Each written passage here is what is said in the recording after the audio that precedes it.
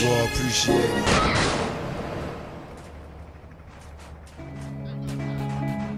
I like to share too. Thank you.